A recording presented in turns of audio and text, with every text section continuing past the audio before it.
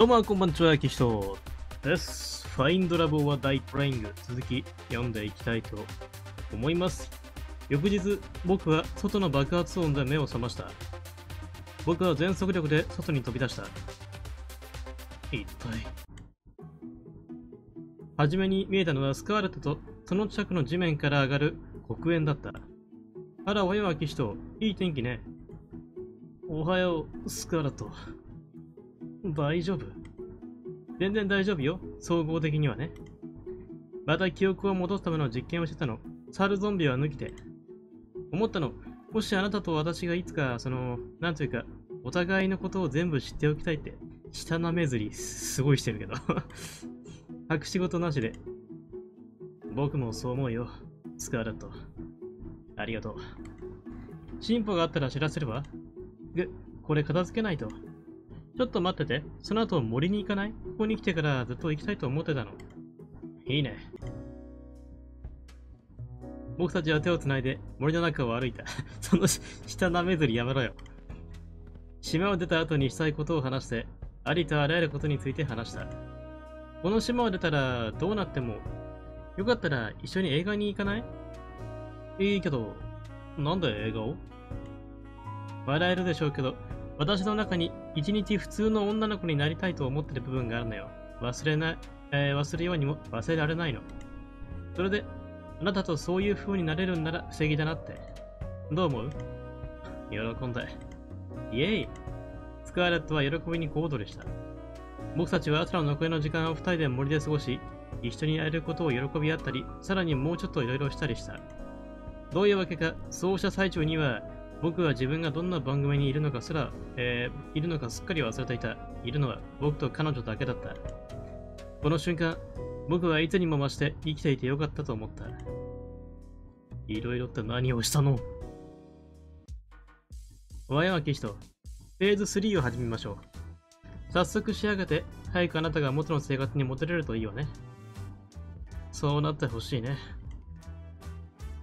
この島は素敵だけど、金の檻でも、檻は檻だから。すぐに元の生活に戻れるわよ。約束する。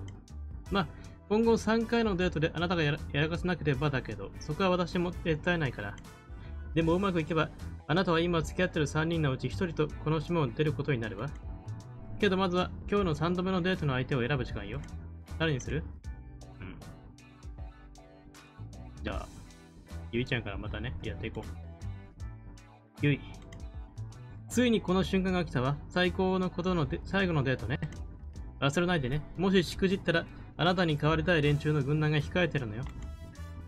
エマするつもりはないよ、キャット。記憶をなくしてイかれたテレビ番組に出るつもりもなかったでしょうけど、その結果はどうかしら。人生ってのは、実に笑えるね。同感ね。人生は決して期待通りにはいかないものよ。でも唯一の人生は、生きてる中で一番幸運な人になれるわよ。これは別に、あなたがこの子を選んだことで私にお金が入ったから言ってるわけじゃないから。本当に？全員カメラ回すわよ。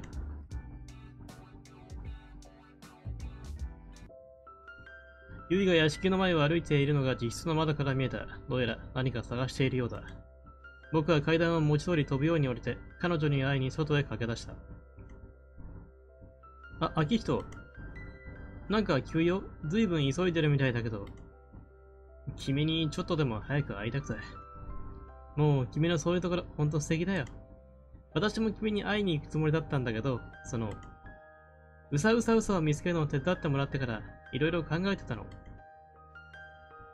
ああ、うさうさうさ大先生の調子はどう？そうだ、そういえば、それでここに来たんだった。うさうさうさがここで大騒ぎで逃げ出しちゃって、あ大急ぎで逃げさ、えー逃げ出しちゃって、追いつこうとしてたんだ。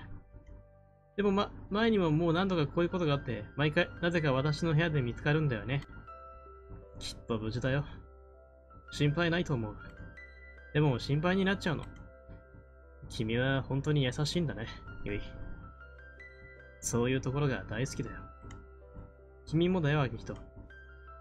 今日時間ある？君としたいことがあるんだ。君のためなら、もちろん。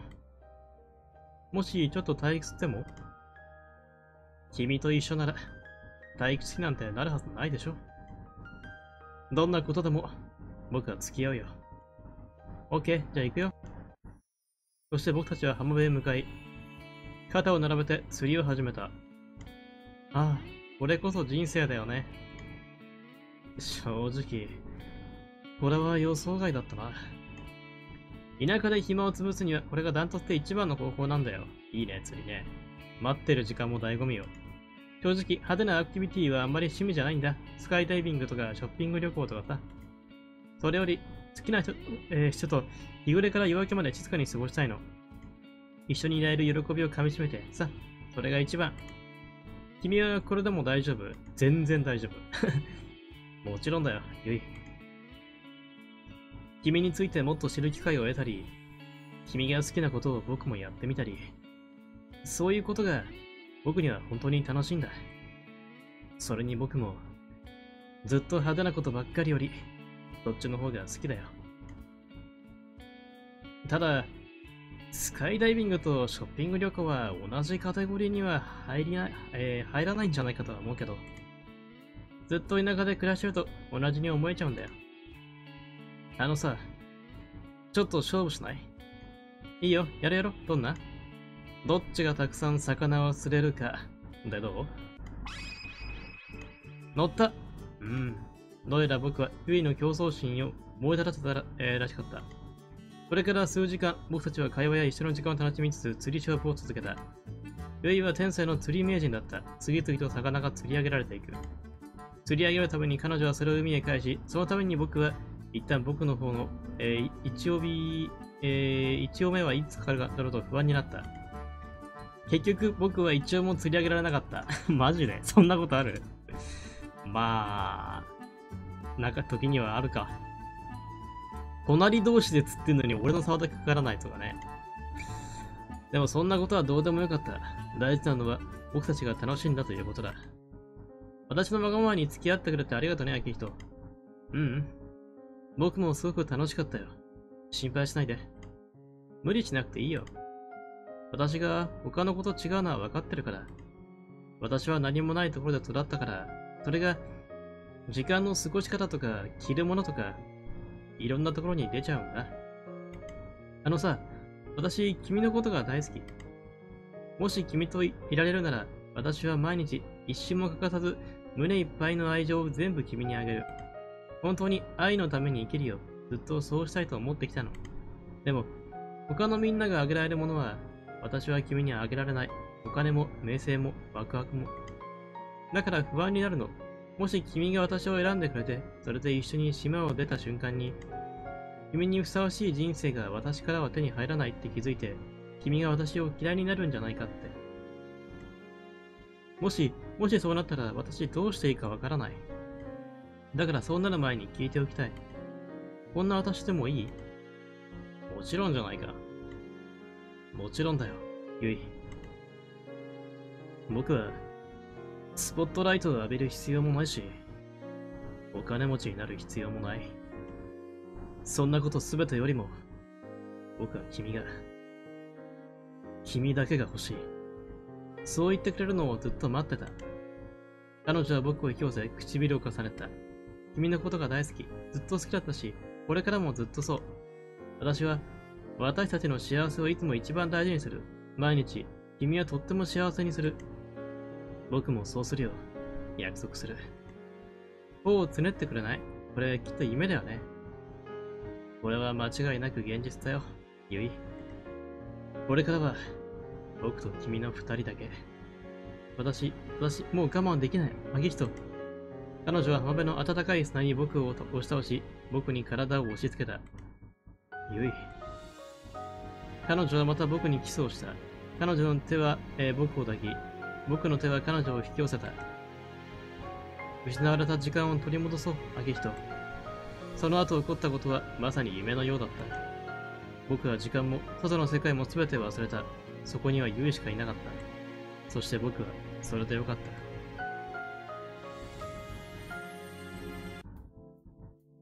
こうしてユイとの最後のデートが終わった。時間が過ぎるのは本当に早いものだ。ここにいると思ったわ。どうした？考えにふけるときあなたはここに来がちだからってだけよ。番組はもうすぐ終わりだなって考えてたんでしょ？なんでわかったの？まぐれよ。ま、まだ終わってないから気を抜かないことね。番組といえば今日のゆいとのデートはどうだった？最高だった。ゆいは世界中で一番素晴らしい子だよ。どういうわけか、ゆいはごく普通のことをかけがえのない思い出に変えてくれるんだ。何よりも、僕はゆいともっとたくさん毎日思い出を作りたい。そして、あの子を誰よりも幸せにしたい。うわ、今のは後で編集しないと視聴者が胸を悪くするわね。でもわかるわ。あなたは正当な権利があるうちの誰よりも幸運よ。荷造りを育てておくことね。多分、すぐに田舎に向かうことになる気がするわ。ともかく、最後に彼女を選ぶか聞きたいところだけど、それは見てのお楽しみにしておくわ。しばらくここにいるつもり？いや、もうじき中に戻るよ。ならそれまでご一緒するわ。テレビ向きじゃない会話もして殺されない相手と話したいんじゃないかと思って。ありがとう、キャット。いいのよ。あのさ、気になってるんだけど、キャット。何？仮に、僕が積んだとしてさ、ここから生きて出る方法がなくなった。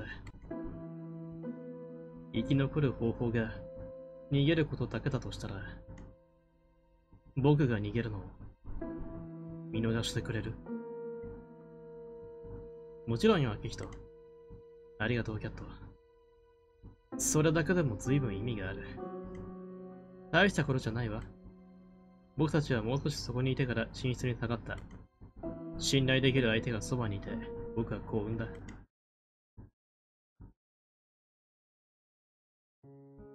僕はゆいを腕に抱いて目を覚ました。僕たちは昨晩夜更かしして森の中で忘れられない散歩をしたのだった。彼女はまだぐっすり眠っていて、僕のことを固く抱きしめていた。穏やかに眠っているようだ。僕は彼女の栗色の髪に指を走らせた。うーん、愛してるよ、秋人。彼女は僕をさらに強く、え少し強く抱きしめた。あ、動けない。けれど、動く気もしなかった。誰が動く気になるだろう。朝は飛ぶように過ぎていったけれど、これ以上ないほど幸せだった。あの頃にこうなるって君に言われたから、私は笑い飛ばしたと思う。でも今、そうなってとってもとっても嬉しい。人生で一番幸せだよ。こんなところじゃなかったら完璧だったんだけど。どういうこと？今日は他の誰かとデートに行かなくちゃいけないんでしょ？うん。ごめんね、ゆい。いいよ。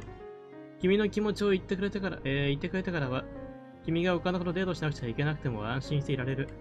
でも、あんまり楽しみすぎないでね。僕は彼女の方にキスをした。また後でね、ゆい。すぐ帰ってきてね。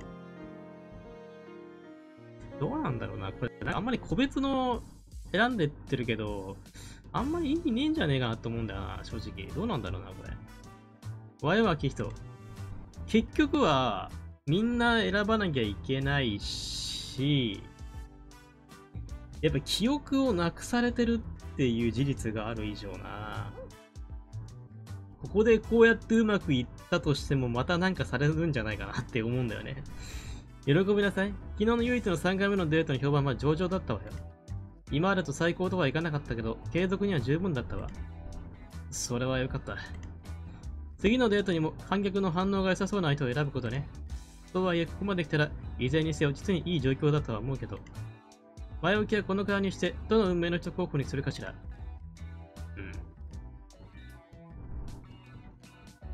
うん。バイオレット。期待通りに秋人。バイオレットのことは初めはちょっと不安だったけど、でも今は、あの子が視聴者に気に入られてるのも納得よ。その好評を台無しにしないようにね。そんなことするわけないよ。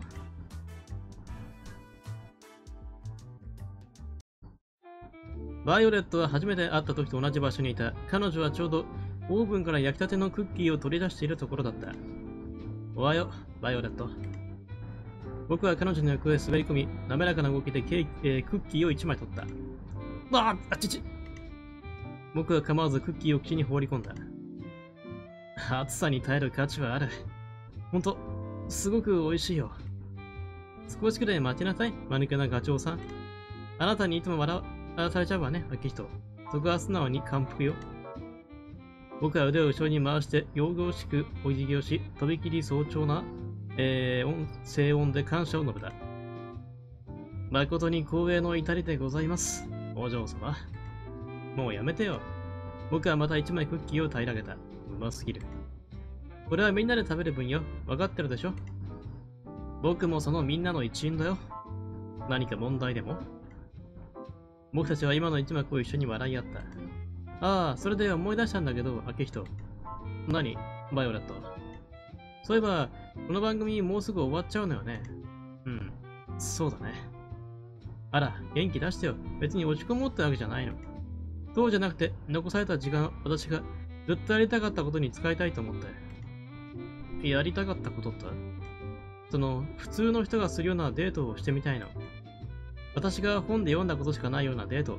ピクニックに行って、映画館で映画を見て、砂浜をずっと歩いて、それに変なこと。例えば、お絵かきナイトなんかも。お絵かきナイトって何？その後と、夕日が沈むのを一緒に眺めて、とてもロマンティックな気分になって、彼女の興奮ぶりは可愛らしかった。まるでピンポン玉のように文字通り部屋を跳ね回っている。できると思うよ。今からできるの？どれにする？全部でどう彼女はとびきり美しい笑顔を浮かべた。可愛すぎる。本当？冗談でしょ？信じてくれていいよ、バイオレット。全部やってみせる。やった彼女はささやかな感性を上げて小躍りした。やばい、微笑みが止まらない。それはさておき、僕はノープランだった。これはかなり綱渡りになりそうだ。全部あなたに用意してもらうのはフェアじゃないわね。ピクニックは私に任せて。彼女は背後からバスケットを取り出した。素敵なお出かけはいかが？世界と引き換えにでもごちそ、えー、ご一緒するよ、バイオレット。僕たちはしばらく外を歩き、それから日陰と稲田が程よく混じり合ったピクニックに最適な場所を選んで腰を下ろした。彼女が銀色が日に照りえる様を見ると、このように天使はいるのだと信じずにはいられなかった。それほどまでに彼女は美しかったのだ。さ、食べて食べて。たっぷり持ってきたから遠慮しなくていいわ。その卵焼きには何がかかってるんだい？僕はきっと、今生きてる中で世界一の幸せ者だよ。この話は食べてみた後のためにとっておいて、あなたに先に食べてほしいの。僕を不安がらせたいの？彼女が冗談交じりに膨れっ面したので僕は微笑んだ。冗談だった。彼女は笑って微笑みながら僕に美味しい卵焼きをスプーンで食べされてくれた。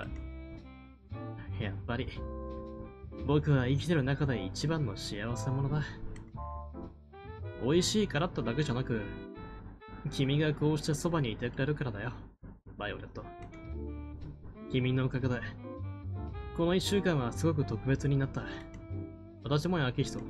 それに、楽しいことはまだまだあるわ。まさにその通り。僕たちのためだけに用意しておいたものがあるんだ。一つ貸したからね、アキヒト。ん？僕たちは午後の残りの時間、美味しい食べ物と会話を楽しんだ。僕たちは手と手をつなぎ、ずっと笑顔のままで屋敷へと戻っていった。次のスポットは島で唯一の映画館。この屋敷にこんな映画なんて知らなかった。だろうね。知る限りじゃ、ここはテラのテレトリー。おとい、えー、テラのテラトリーね。おとい、テリトリーみたいだし。でも今は、僕たちだけの映画館さ。僕はジャーンと両手でテレビを、えーえー、指差し、示し、えー、示してみせた。バイオレットはまるで僕が一世一代のパフォーマンスをしてみせたかのように拍手してくれた。僕は次第、えー、芝居めかしてお辞儀をし、見られる映画を確認した。どれどれ？ラブコメ、中世ファンタジー、戦争映画、スーパーヒーロー映画がいくつか。そして最後にホラー映画。ホラー映画だろう。僕はラブコメを選んだ。ラブコメかよ。バイオレットが前に言ってた、ことからにして、間違いなくこれが彼女のお気に入りのジャンルのはずだ。僕は映画を再生し、バイオレットの隣に座り直して、彼女えー、腕を彼女の肩に回した。映画はサッカーを目指してニューヨークのある場所に移ってきた少女の話で、少女はそこで出会った少年と恋に落ち、最後に自分の夢と愛に気づくというものだった。特別な話ではなかったけれど、バイオレットは終始うっとりとしたが、えー、うっとりと画面に見入っていた。僕はといえば彼女の方にうっとりしていた。ブレジットが流れた後、バイオレットは文字通りわっと泣き出した。今まで見た映画で最高の映画だわ。人生で最高の。それなら、映画の気に入ったシーンを選んで、絵にしてみるっていうのはどう？あら、あなた。ここでちょっとだけ待ってて。わかった。絵画用品がどこにあるのかわからなくな、えーわからなかったけれど、用意してくれる知り合いがいるとすれば、それはキャットだというのは分かっていた。キャット？状況は分かってるよね。土壇場でうまくまとめたようだなんて大胆ね。でもそういうところが好きよ。4号、お絵かきナイトに必要なものを意識を屋敷のメインホールに用意、えー用意えー準備して、今すぐよ。なんだよ、シフトが終わったばっかりなのに。なおさらちょうどいいじゃない。こっちの仕事に専念できればね。そうして、僕たちはメインホールのキャンバスに絵を描き始めた。うん。僕が描くのは、二人で一緒に映画を見ているところ。もういいんじゃない？二人で一緒に映画を見ているところ。これもありだよね。いいんじゃない？何描いてるの、秋人？僕たちの絵だよ。一緒に映画を見てるところ。これが映画の一番美しい場面でしょこれを描かないのはもったいないよ。臭いこと言うね。あなたって随分な色男ね。でもそういうところが好きよ。彼女の笑顔は凍りついた黒でも溶かせそうだった。それで、バイオレットはどの場面を描いてるの？主人公の女の子が雨の中に走り出て男の子に思いを伝える場面よ。とってもロマンティックだったから。彼女は声に悩むティーンエイジャーのように感類した。彼女は絵に心を目いっぱい吸い込んでいるようだった。えーその F, F では場面を完璧に捉えていた。一方僕は人の頭の数をちゃんとすることの方に神経を使っていて、まあつまりそのレベルからのスタートだスタートだけ言っておこう。1時間ほどして絵は完成し、僕たちは完成品を比べ合った。彼女は驚くほど絵の才能があった。僕はそうでもなかった。それは恥ずかしかったけれど、でも彼女が微笑み、どっと笑い出すのを見られただけでも十分その埋め合わせになった。彼女の笑いはお腹がぐーっと鳴る音で中断された。こんなこと立てられ立てたらママには絶対叱られたでしょうね。でも今は誰も気にはしないわ。こうなると、バイオレットはもう誰にも止められなかった。夕食の時間？その通りよ。僕は夕食を作るよと申してたが、彼女は最初のデートで行ったレストランにまた行こうと言った。なので僕たちはそうした。どうやら、あの時の彼女はあまりにきっちり好きなく振る舞おうとしすぎている。で、思う存分には食べることができなかったようだった。今の彼女は嵐のように食べた。ほとんど文字通り、ほとんど。僕たちは夕食の間、周囲を気にすることなく、美味しい食事がガツガツ平らげ、映画の場面や僕たちのちょっとした芸術的冒険について笑い合った。そして最後に、僕たちはお待ちかねの砂浜の散歩へ出かけた。手をつないで海沿いを歩いていく。海の波が歩いていく僕たちに音楽を奏でてくれているようだった。時には僕たちは取り留め,、なく話した。また時には僕たちはお互いの存在と沈黙の中の温かみを楽しんだ。どちらの場合も僕たちはこの上なく幸せだった。僕たちはお互いのおかげでどれほど過去が、現在が、そして未来が変わったかについて語り合った。あのね、秋人。今、もしあなたが私に結婚を申し込んだら、間違いなく私、受け入れる。この、えーこの短期間過ごしただけで、こんなことを言うのは本当にどうかしてるって分かってるけど、でも、私には分かるの。彼女は全身全霊を込めて僕に情熱的なキスをした。そしてそれに続いたのは、僕たちの素敵なデートにぴったりのエンディングだった。こっちに来て。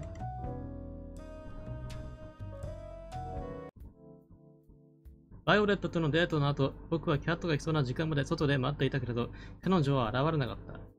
これなんか心が痛くなるなあ なんかみんなとそういうことやってるもんね、ここの主人公はね。うん。一人に絞ってない、絞ってないから、うん。なんか、すごいなんかね、浮気してるというか、そういうな気分にさせられちゃうんだけど、ただまあ主人公の気持ちもわかるんだよ。うん。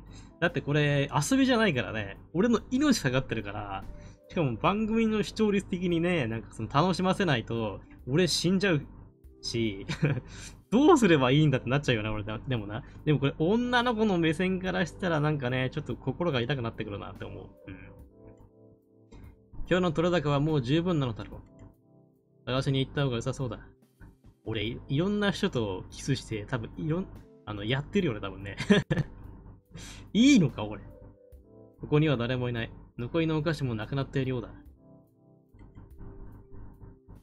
ここでもない。キャットがテーブルで空手に頭に当てつつ、狂ったようなスピードで何かを書きつけ、書きつけていた。いやあ、キャット。どうしたの？ああ、どうも、秋人。気づいてなかったわ。調子はどう？今書いてた不穏のやつが何なのかによるかな。今さっき、僕が処刑確定だと気づいたみたいな顔だったよ。ああ、これ、心配しなくていいわ。処刑は処刑だけど、あなたじゃないから。イエーイ。冗談よ。2号が記入してた、えー、新尺対象表を直してただけ。あんなこと言ってるけど、相手に会計士になるって選択肢はそもそも絶対にないわ。まあ座って。どうせ私は一人ここにいるから。わかった。いいよ。僕はテーブルのキャットの隣に座った。それで、今日のバイオレットとのデートはどうだった？最高だったんや。バイオレットと一緒にいると、世界の絶頂にいるような気分になるよ。不思議なことに、彼女が見せるかっこよさに思わずハッとする一方で、同時に、彼女と一緒に子供みたいに笑っちゃうこともある。初めて会った時は、こんなに大好きになるとは思ってはみなかったけど、好きにならずにはいられないんだ。そして今は、何よりも彼女を世界中で一番幸せな女性にしたいとは思ってる。お前昨日ユイにもそんなこと言ってただろう。その言葉を待ってたわ。私も最初は疑い半分だったけど、あなたたち二人は本当に陰キャかっさだったわ。それもちゃんとした理由でね。視聴者はあなたたち二人の、えー、一緒の人生がどんな風になるか、今回垣間見たと思うわ。次回は、えー、生地合戦以外のことでキッチンが散らかりそうね。ん？ノーコメント。とにかく、ここまでは見事だったわ。あなたがそれぞれの子に行ったことが本当かどうかは知らないけど、今更止まっちゃダメよ。あと一日乗り切れば、ついにこの場所から離れられるわ。そしたら、僕の前の人生がどんな風だったか、教えてくれる？もちろんよ。だって、そうしなかったらあなた、そもそも一体どこに帰るわけ？それもそうか。何か、思うところがあるみたいだね。ああ、明日のことを考えてただけよ。あなたが私を見てきた中で最高の一人と取ってるわ。それで足りることを祈ってる。最終デートとの最終日の視聴率の条件は今までで一番高いわ。きっと大丈夫だよ。心配しないで。ここまで来たんだから、終わりまでいけないはずないよ。そう祈るわ、キリト。あなたのためにね。それで、僕が言ったら、キャットはどうするの？次の殺人恋愛番組に移るわけ。あなたが私のキャリアコーチだったとは初耳ね。私の豪華、えー、年計画も聞きたい ?5 年後には、もうここにいない方がいいと思うけど。計画なんてないわ。ただ、その日暮らしでやってるだけ。この狂った世界じゃ、本当に誰だってそうするしかないもの。とにかく、私は仕事に戻らないと。幸運を祈るわけ人。きっと幸運が必要になるから。ありがとう、キャット。またね。おやすみなさい。明日は最後のデートだ。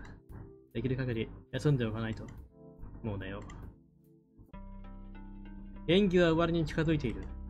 俳優が一人ずつ歩み出て最後の礼をする。僕は拍手するだろう。けど、僕が待っているのは君で、君だけだ。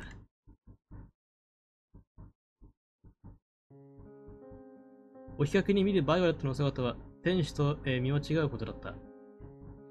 夕べ砂浜から、ま、戻った時にはもう真夜中過ぎになっていたので、僕たちは少しでも眠りたくて、そのまま寝床に着いたのだった。数分の間、僕は日に照り映える彼女の銀髪に見惚れていた。こんなに美しいものは見たことがなかった。おはよう、マキヒト。おはよう、バイオラット。もう少しだけ一緒にここにいてもらってもいい？もちろんだよ。最高。彼女はこちらへ寝返りを打ち、僕は力いっぱい抱きしめた。やっぱなしとは言わせないわよ。僕たちは朝の間ずっとベッドで過ごし、お互いの温かみを満喫した。ずっとこの瞬間が続いてほしかった。一緒にこの島を出るのが間違いないわ、キヒト。きっと世界一のパートナーになれるわよ。他と一線をか、えー、回する大帝国にね。野心的な女性は大好きだ。そうだ、そろそろ他のこと過ごす時間よね。うん、ごめんね。でも、そういう契約だから。問題ないわ。こんなことで言い争うのは無駄よね。そういう番組なんだもの。誰であれ、今日のデートの相手を楽しんできて。でも、その子のどんな長所も、この女王の前にはきっとかすむわよ。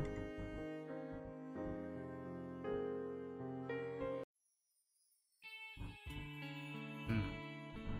はい。というわけでね、じゃあ今回はね、一旦これでね、終わりにしたいと思います。えー、ぜひもね、チャンネル登録、高評価もしてくれたらね、励みになりますのでよろしくお願いいたします。という次回もよかったら、また見に来てくれると嬉しいです。それでは、